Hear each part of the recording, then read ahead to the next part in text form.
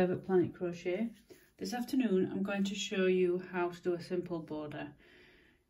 Using the squares I joined for a previous video, two videos back, I just did a sample piece. This is what I did it for. This It's almost finished and then it will be released on my Etsy shop. So I just showed you how I found a new way for me to do join as you go method. So if you haven't looked at that or watched it and how to go, I will leave a link below. So what I'm going to do is, and now I've picked a different colour to what I've used or I've even used in the blanket, just for contrast. You've gone all the way around your squares, you've joined them all together, you've gone all the way around and you've finished in the bottom right hand corner. A tip that I use is I always rejoin a different colour yarn somewhere else on the project. If it's round, I'll go almost halfway around and join again because I don't like all the joins in one place. Don't like it. With this square, I'm going to join in a one chain space. It's a really simple and effective way of um, a border.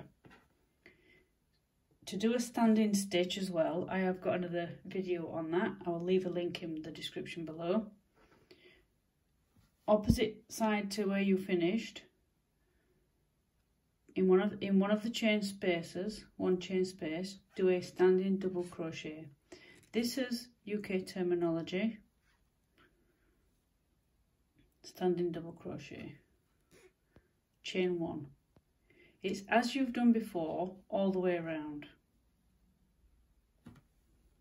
Chain one, double crochet in the space from the previous round. Now, I've got two ways. I did this off camera to see if I was, see how it looked both ways. So I'll do this way first. And it's just a nice effect for your blanket. If you don't want too much fuss on the edge or the border, whatever you call it. In the corner, three single, sorry, that's American term, double crochet. You can still use American terminology, but I'm using in this video um, uh, UK, UK terminology. Three double crochet in the corner space, chain one, because we want to jump over the double crochet from the previous round, and do the same as your previous round. So it's one double crochet, one, chain one, one double crochet, chain one, all the way around when you get to the join of your squares, if you've watched the video, I've got stuck. In the loop where you joined your squares, there was a loop. You chain one for the corner, put the double crochet in the loop, and then you chained one and put a double crochet in the next square so you, you kind of made squares on each but then you joined them together down the side. So this is the left hand side going down.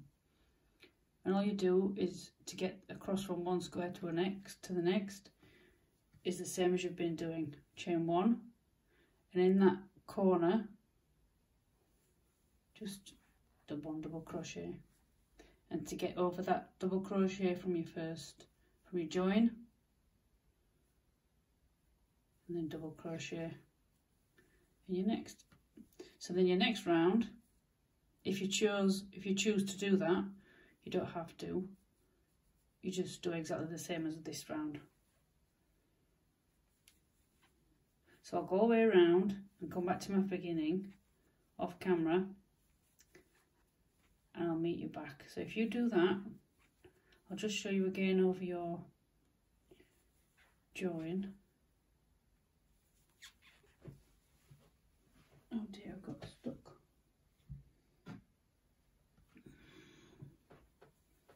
So there's just between your two squares. You've made a corner using one of the, the loop chains and same on that and you just go across. Put one double crochet in the first square, chain one and one double crochet in your next square and then so on all the way around. And I'll catch you at the beginning. Of your standing double crochet. I've finished all the way around with the double crochet chain one and three double crochet in each corner. I'll turn my work because I'm going to join in the opposite side or you can just turn your work one side round just so you've not got all your ends in one place. It's just a tip you don't have to do it but that's how I like to do it. Find a one chain space put place one double crochet standing double crochet. If you do your double crochet another way that's fine but I like to do standing chain one and double crochet to the corner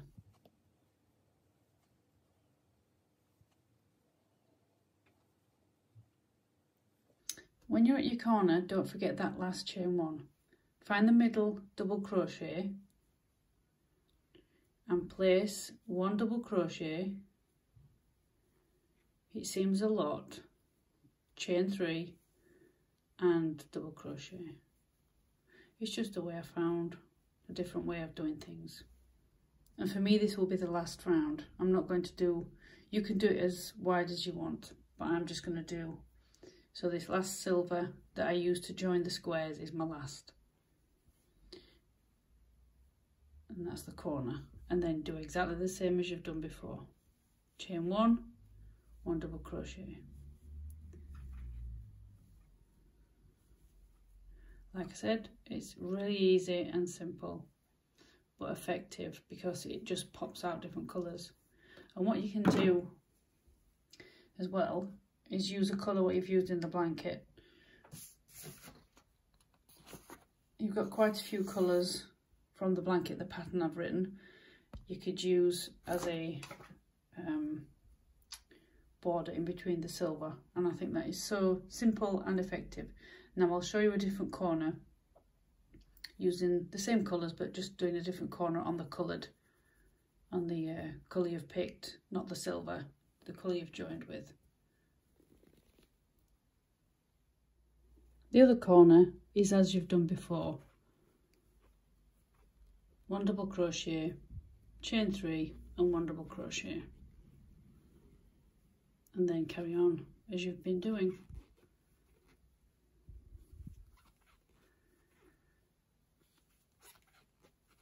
Oh, it's getting warm here in Yorkshire. The sun's come out now. It was cloudy this morning. And then put your, sil mine's silver by the way. And then put your joining colour on the top as you've done before.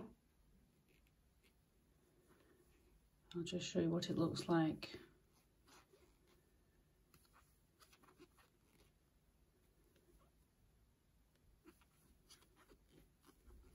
in contrast with the other one.